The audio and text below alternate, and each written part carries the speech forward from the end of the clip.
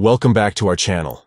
In today's tutorial, we will show you how to delete a call entry from the calls section in WhatsApp on PC. If you want to remove a specific call from your call history, follow these simple steps.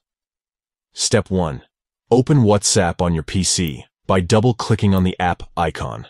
Step 2. Once WhatsApp is open, navigate to the calls section by clicking on the phone icon located in the left menu. This will display your call history. Step 3. Right-click on the call entry that you wish to delete. A context menu will appear. Step 4. From the context menu, click on Delete. This will remove the selected call entry from your call history. And just like that, you have successfully deleted a call entry from the calls section in WhatsApp on PC. It's as easy as a few clicks. Remember, this feature allows you to manage your call history and keep it organized.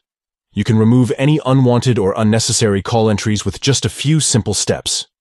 We hope you found this tutorial helpful. If you have any questions or need further assistance, please let us know in the comments below. Don't forget to subscribe to our channel for more useful tutorials like this. Thank you for watching.